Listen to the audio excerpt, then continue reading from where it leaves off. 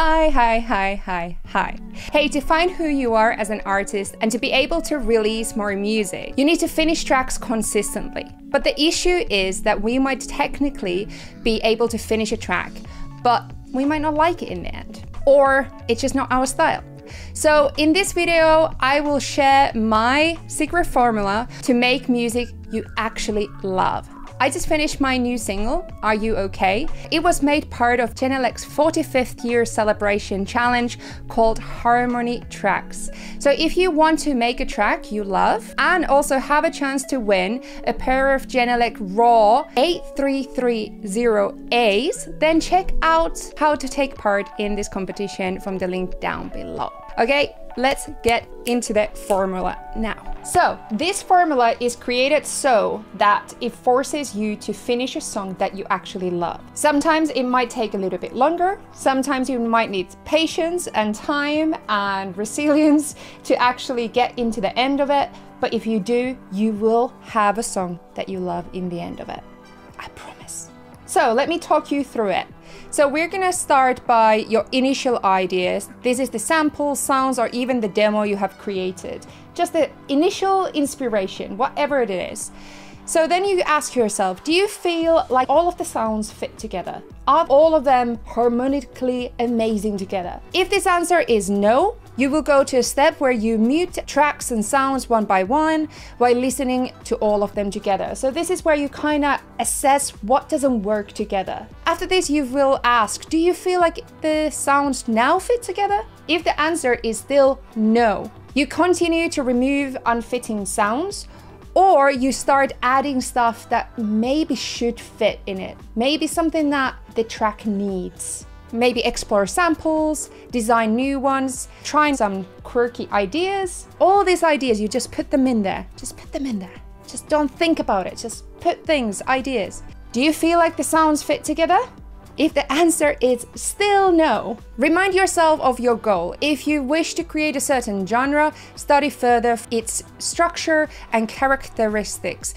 If you are not wanting to do one genre, then maybe just trying to learn something new, trying to learn new techniques, something that you just wanna explore with this track and try it with these sounds that you have created. Okay, so let's say the track seems ready to you now. You say, yeah, yeah, it seems like these sounds kind of fit together now. Now you're gonna create the structure so producing composition, developing the track. Add all the aspects you think that are necessary. So example, arrangement, automation, transitions, tension, details, vocal details, all that stuff. Does the track seem ready to you? Let's say no. If you feel like the track should already be finished, but something does not just feel right, then try creating another version. So duplicate this session and start again. Feel like you're starting again with the material that someone is almost given to you, even though it's been you giving this material to yourself. But pretend that someone's just giving you this material. It's a new session, new start. Just remove things, add stuff, use these samples and just try to create a completely new track out of it. So if you say that the track does not still seem good for you, then you're gonna go back into production, composition, developing, or you can go back into any of these sections here. Example, uh, learning a little bit more or just removing stuff, adding stuff, whatever you feel comfortable. Obviously, I have created a route here that you can follow and that should do the trick. Let's say that it feels ready now. Then we're gonna go to the last bit, which is does the track make you feel something? The last bit is something that I overlooked for years. And this is something that I have now tried to learn to embrace. So I feel like example, Are You Okay? I created three, four different versions of it because it didn't make you, me feel. Technically, it was there. Technically, it sounded great. It had all the transitions, tension, all these things, but something was just not hitting me. It might have hit somebody else, not physically, but emotionally, but me, it just didn't like sink in.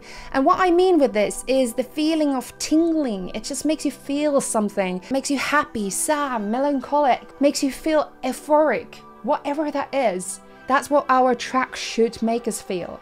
So if it still doesn't make you feel, you're gonna go back into your goal, you're gonna learn trying to dissect it. You're gonna remove elements. You're trying to figure out what is it that is preventing you to feel stuff. And you're gonna go into the beginning or you can go into here and just learn. And you're gonna go into all these steps, circle it around until you're gonna be in this last point and you're gonna say, yes, it does make me feel. And congratulations, you have finished a track that you love. Let's go to my sessions and see how I actually follow this formula to finish a track that I actually love. Okay, so with Are You Okay, I started with just creating drums, bass, and some samples that I thought sounded really good. And because they sounded really good together, I went straight into arrangement view. But after a while listening to it, it just didn't feel if we look at this here, so I had the initial idea and I was like, yes, this sounds good together. Yes. And I went into the production, composition, and I went here directly. So in just a couple hours, I went from the first section to second to the last. And I was like, no, no, it doesn't sound that great. So, in this workflow, I kind of went into creating a second version of it. And then from there, I went all the way to the beginning, worked my way to the third one, and then all the way back. So I thought I kind of took the shortcut. It didn't work out. So let me show what happened. So this is the first version. In here, I have drums that I really, really like. They sound great. But then there was example something like this clicky sound. It sounded good, but in the end, that didn't make up. Also, there was example these bass sounds. I absolutely love those bass sounds. They are really big, cinematic, they have so much character, but somehow I felt like these should kind of fit into a different song. I needed to make a decision which sounds stay and which don't. Kill your darlings type of situation.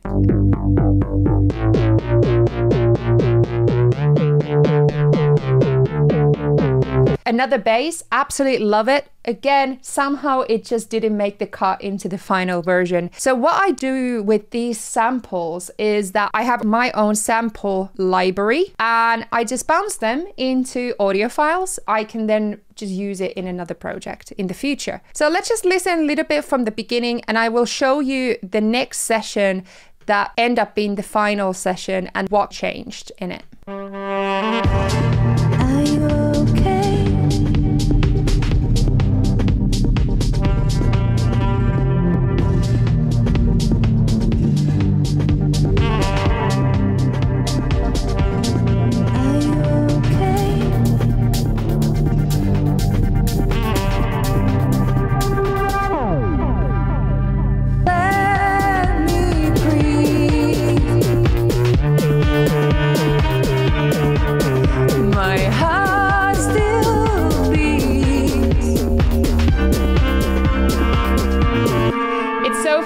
Listen now to this version. It still sounds like the same song, but this just feels so, so different. So I created a second version of it. So what I did is go file and save a copy. After that, I went back into this section.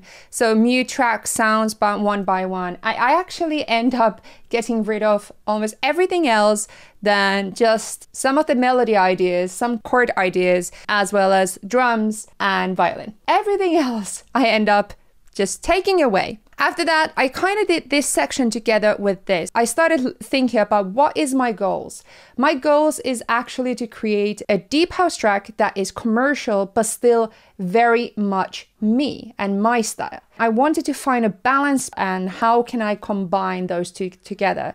So I decided first to go very commercial. I went online, search into different kind of deep house techniques. I went Spotify, listened to deep house music. I went to also Splice and just explored what kind of sounds and sound design people use in deep house. One sample that I found from Splice was this bass sample and I sliced it up and found this amazing sound, which then became my bass. So let's just listen to that.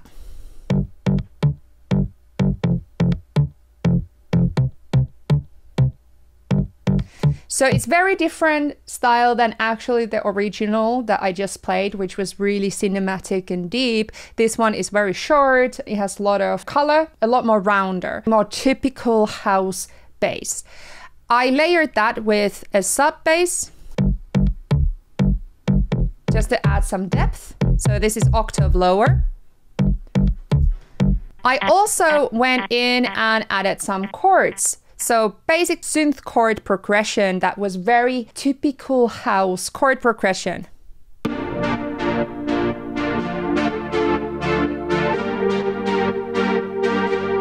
And what you can see is that that also complements the bass rhythm.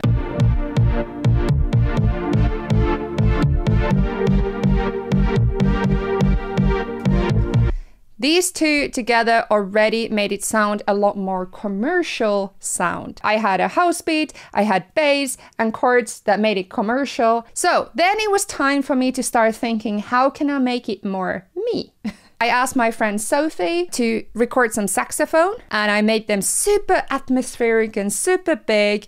And this is something that I really, really enjoyed.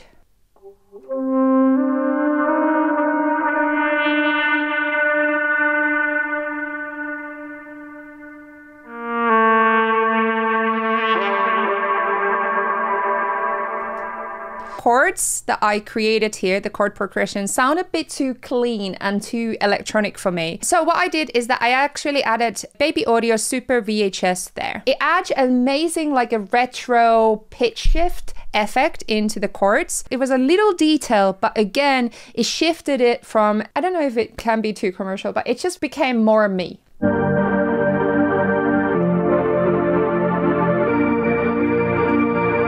And without them,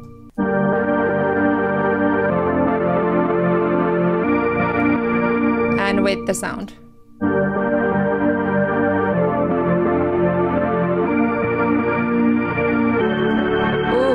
I love that so much. Additionally, I wanted to add some other sounds that really I liked, which was example this piano sound.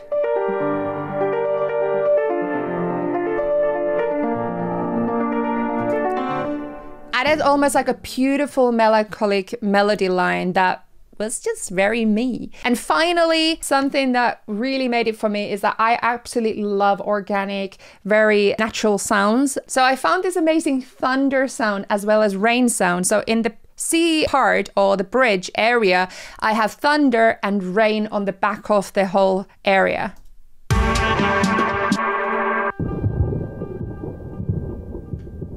So that's the thunder. And you can hear this rain just almost like a white noise lift that brings it in. And I added also auto filter LFO to it to add this kind of amazing lift. And that also ends into just the thunder. Ooh, I love that so much. And finally, I added some vocals and I wanted to again find a balance between something that's commercial, not too poppy, not too synth pop, but more deep house vocals. And I've created this. I'm socially tired. I'd rather move to the speed and feel your.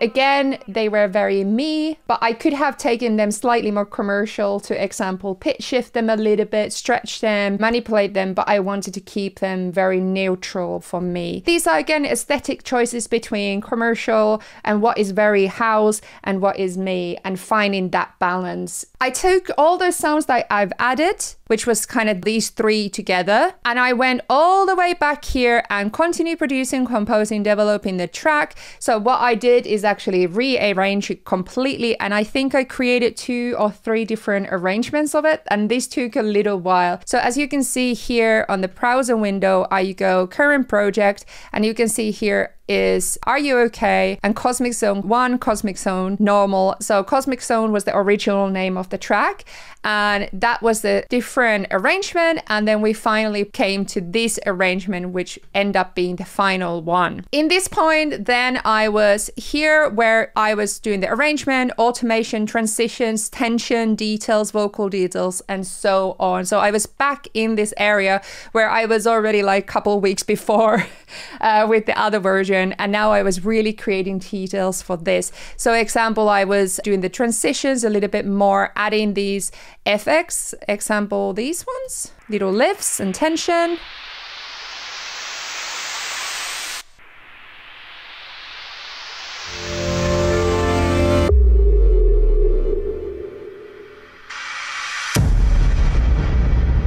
There's very cinematic explosions, there's swells, reverse cymbals, and so on. I also added some white noise lift, so which is the easiest to do analog, some noise filter into it, auto filter.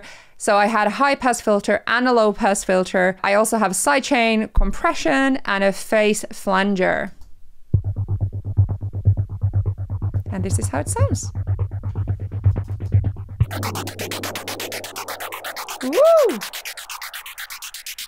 So all these details was part of this part here. So in this part, I actually thought that, is this ready? So I said yes many, many times, but I kind of went back here and said, actually, maybe I should craft this a little bit longer. And then I said, yes, do I feel it yet? And I was like, oh, maybe I can do a tiny bit more emotion to it. And one emotion thing which made a massive change is the automation. Here, look at the automation. And this is filter automation on the saxophone. So what I've done is I've added these dynamic changes to the saxophone using auto filter.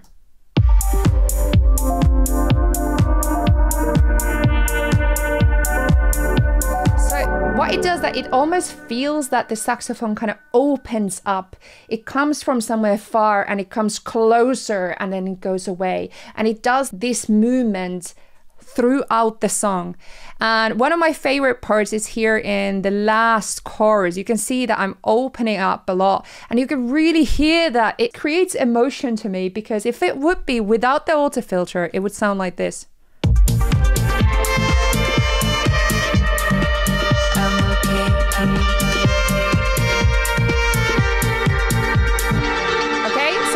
Loud all throughout the saxophone and it's quite flat dynamically. And now let's listen it with the automation.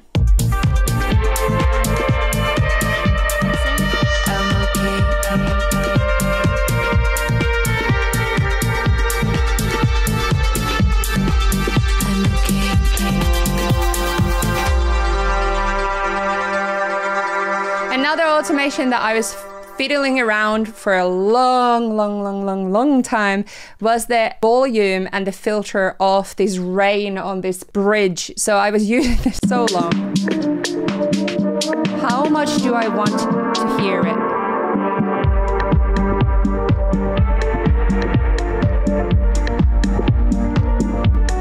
Wanted to have a perfect balance to create the emotional feeling, but also that it's not too obvious on the front.